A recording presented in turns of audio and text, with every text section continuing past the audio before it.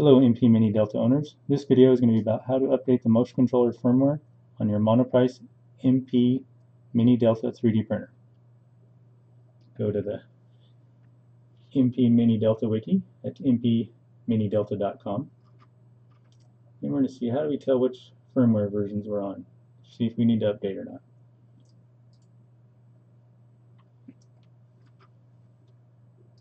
So, first step B is to turn it off if it's not ready. Turn it on, and you'll see the down here is the firmware versions.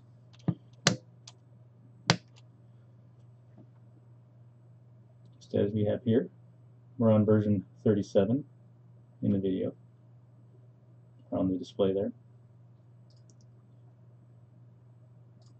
You have an annotated version here. It's a motion controller firmware is this first one. In this example, it's version 40. And the UI controller is version 113.2.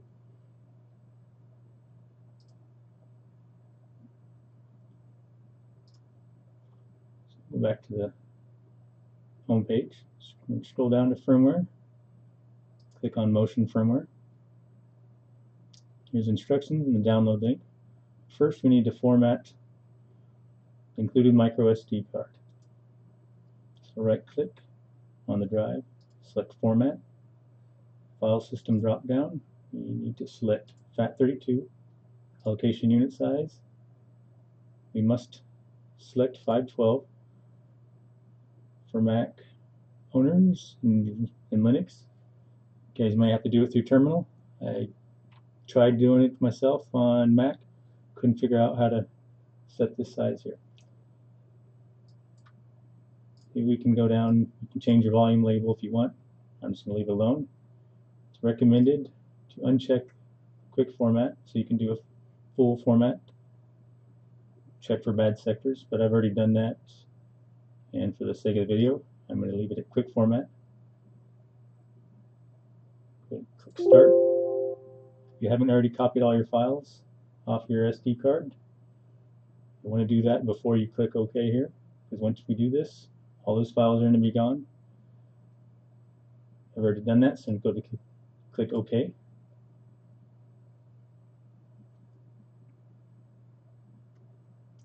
This process is quick when you do the quick format. The full format will take a minute or two.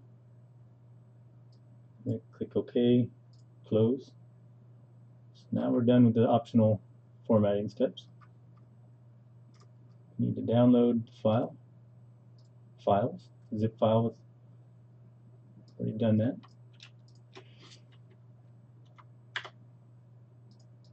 Hmm, get rid of these, just we're starting fresh again.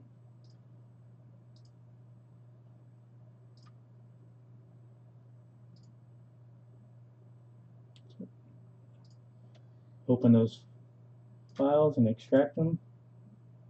Use 7-zip or whatever you have installed, WinRAR, just going to use Windows. Drag that over here. And extract contents. So now open up that folder. This is actual firmware file. This little flag file lets the printer know that when we turn on the computer, or not the computer, but the printer, it's going to start to, it needs to look for this file, or for a firmware file to proceed with the update. I'm going to copy those onto the micro SD card. Paste them there. Done with that now. Go ahead and right click on the drive. Go to eject. Safely remove it. That takes us down over to this step here. I'm going to insert the card into the slot there. And turned off. Turn it off and do it either before or after. Just we need to make sure it's off and then turn it on. This little light here is going to flash. And when it's, you can see right here, firmware numbers appear. We're now on 40. And that light stops. Do it again just, just to show the process again. Sometimes if this light won't flash, just goes straight to the, just flashes once, goes to the boot screen or to the menu. You may have to do this, turn it off and on a few times to get it to work. You'll notice it's locked up. It's the way it's supposed to be. And turn it off. Mute the card. You need to get those firmware files that we just put on there, take them off. Otherwise the machine will continuously update. We're going to go ahead and delete these. The computer's done locked, being locked up for a second. There we go. Delete those. And you don't have to delete them if you go ahead and format, which I'm going to do, just to put it back to the card's default settings. Just need to get out of there. Right click, format. We don't need to worry about this because we're going to restore the defaults. You can go ahead and choose quick format. Start. Nothing there to erase, so we don't care. Okay. Okay again. Close. Now you want to copy all the contents if, you want them. I don't have any readily available. So I've got another card that does have some stuff on there. So we're going to head, just going to eject that. And we're going to pretend that this card I'm putting in right now is the one that's got on there. So, got the card here. As you can see, the yeah, see everything back to working.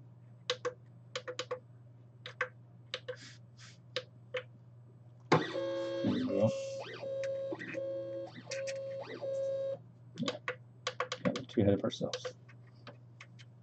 Go and put that micro SD card in there. Go back to the files. See all our files are listed now. Go ahead and exit. I'm going to show another way to update the firmware. This doesn't work all the time. Sometimes it does. We're going to get ourselves a 16 gigabyte card. Let's see, can we see it there? Yeah. Let's try this one. Anyways, it is a 16 gigabyte card. Here's the package, Kingston. Guess that's what I get for not having autofocus on. Put that card in the slot. Oh, just so we can see what version we were on again. Version 40. But I'm going to go ahead and update to version 41, which is more of a test build, so that won't be available. Let's just show you how to update using the print menu. So here's our 16 gigabyte card we're reading from. I didn't change the format, just however it came out of the package.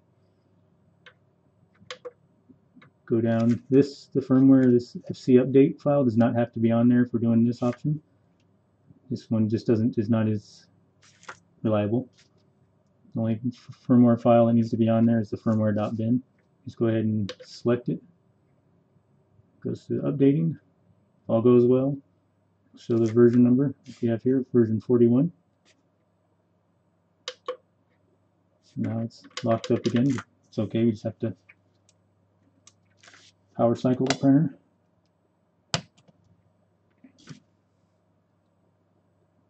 Back on 41. Push that card in there.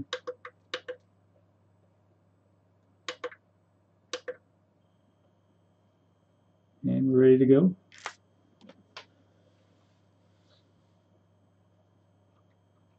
So that takes us all the way through. It's kind of an optional if you want to restore the firmware defaults. Just use M502 to restore them, M500 to save those. And you must have to do M500 before you power off the machine, otherwise it'll go back to what what settings were there previously before putting in the M502. And then you can run auto tune or you can input your old PID values. Here's little page that gives more information how you can restore your default firmware settings. But other than that, we updated the firmware. Many more steps we went through just now than it takes. It only really takes uh, two minutes. So, I think we're done.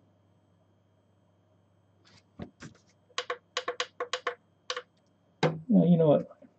One more thing. Go ahead and downgrade again just to see the process. That's got version 37 and we're there version 37 then turn it off I'm going to put version 41 now from the old version 37 with the 16 gigabyte card.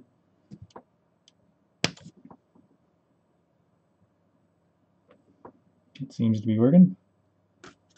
Version 41 so it seems like a 16 gigabyte card works with the old firmware